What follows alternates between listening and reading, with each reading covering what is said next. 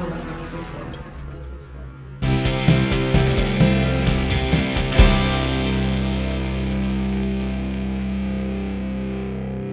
Fala galera, beleza? Olimpíada tá aí, a gente sabe, né? Todo mundo aí no clima olímpico. Se tu tá assistindo esse vídeo na quarta, vai faltar, sei lá, dois dias pra abertura dos Jogos Olímpicos no Rio de Janeiro. Mas todo mundo sabe que o Brasileirão não para. E se o Brasileirão não para, o Cartola FC também não. E ó, enquanto vocês vão, ou vão, vão me ver nesse vídeo, vocês vão ouvir um piu, que é a do Neymar, meu filhinho. Né, filho? Filho? Ai, viu? Tá rolando uma obra aqui, aqui em cima também do apartamento, provavelmente vocês vão também ouvir. Mas tamo aí. O que, que é o Cartola? O Cartola é um fantasy, um jogo do Brasileirão que tu escala teu time, bota. Ó, o Neymar aí de novo. Que tu escala o teu time. Que tu escala o teu time. tá? E tu também escala o treinador, escala lá o esquema tático e fica enlouquecido torcendo a cada rodada. Eu, por exemplo, fico assistindo, se eu não consigo assistir os jogos do Brasileirão, eu fico no celular vendo quem é que fez gol, quem é que fez assistência e a tua, assim, a tua vida simplesmente muda depois que tu faz um time no Cartola. E ainda mais quando tu começa a apostar dinheiro no Cartola. Enfim, eu tô aqui escalando o meu time dessa rodada e tá difícil. Tá difícil, inclusive, de gravar esse vídeo por causa dos barulhos, né? Mas vamos lá.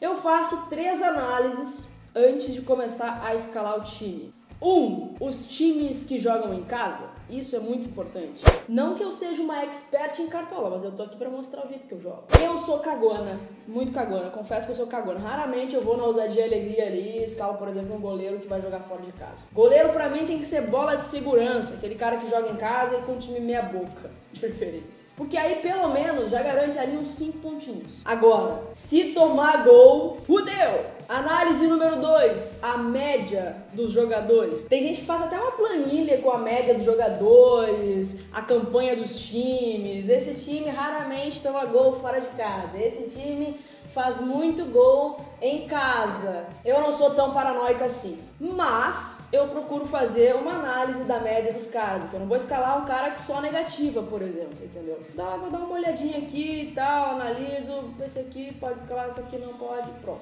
Análise número 3 a grande aposta. Eu tento pelo menos escalar um jogador que vai ser uma aposta. O lateral que ninguém escalou, um meio-campo de um time não expressivo que não tem muita moral. Eu já fiz muito ponto com essas apostas, mas eu também me dei muito mal, faz parte do jogo. Vale arriscar. Eu só não faço isso com goleiro ou com zagueiro porque aí já tá querendo demais também. Então, para 18ª rodada do Brasileirão, o meu time ficou desse jeito aqui, ó. É, eu acho que eu vou revelar o meu time assim de, ban- de bandeja. Vem cá, pode vir. Eu vou te mostrar só o meu goleiro. Já que a gente falou tanto de goleiro, eu vou mostrar só ele aqui. Chega mais. Marcelo Groi. Por que o Marcelo Groi? Porque o Grêmio vai jogar em casa com o Santa Cruz e eu acho que é vitória. E o Marcelo Groi não vai tomar gol. O que, que vocês acham da ideia da gente fazer uma liga do videocack no Cartola? Vamos brincar lá, ver qual é que vai ser, só pra brincar mesmo. O que, vocês acham? Vou fazer uma liga lá? Vou criar uma liga videocack, vou botar lá na página do Face e aí eu boto lá as informações da liga que a gente for criar. Fechou? Então é isso aí, vou esperar vocês lá na página do Face pra gente criar essa liga do Cartola FC do Videocack e jogar até o final do Brasileirão. Dá um like no vídeo, te inscreve no canal, me segue nas redes sociais e boa sorte no Cartola. A Kathleen entende de cartola. O problema é que ela é um tremendo pé frio dando dica, cara. Principalmente se for de time gaúcho. Eu perguntei pra ela, Kathleen, quem é que o escalo do Grêmio pra esse jogo? Ela falou, escala o Luan, Luan tá super bem. E realmente ele tava, cara. Só que foi a primeira vez que ele negativou no jogo. Ela dando dica, eu não iria muito por aí não, hein. Bom, pessoal, tô aqui então para agradecer a Kathleen, o que é Quilmes, né, no Cartola, porque a última vez que ela me deu dicas no Cartola, eu fui eliminado de todas as competições que eu tava, perdi algumas 10 posições. Então, muito obrigado, Kathleen. Vou continuar seguindo as tuas dicas. Aliás, me diz qual é o teu próximo time para eu não botar ninguém. Muito obrigado. A última vez que a Kathleen me deu uma dica pro Cartola, ela me falou para escalar o Bressan. O Roger ia conseguir fazer ele jogar no Campeonato Brasileiro, que no Campeonato Gaúcho ele tinha ido mal.